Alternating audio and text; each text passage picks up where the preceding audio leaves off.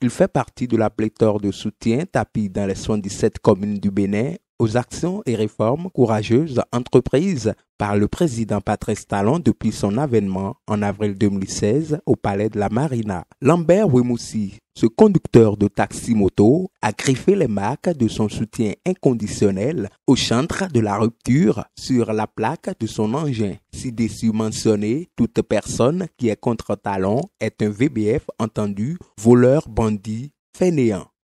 Oui, moi j'ai écrit toute personne qui est contre Talon, c'est un VBF. VBF, c'est quoi? VBF, c'est des voleurs bandits fainéants, ceux qui ne veulent rien faire dans le pays.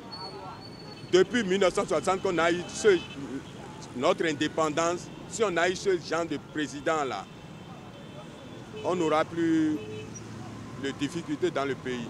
La pauvreté serait déjà au moins diminuée.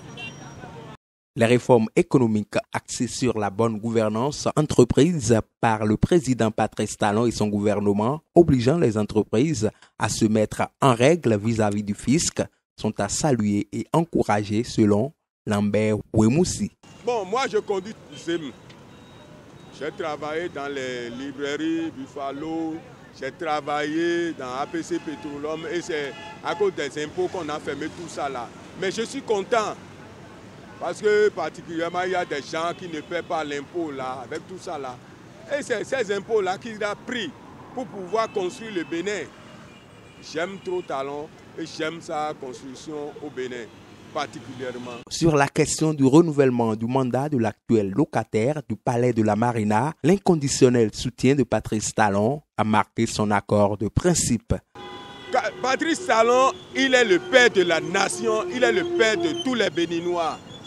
Et ce qu'il décide, Dieu va l'aider beaucoup à faire ça.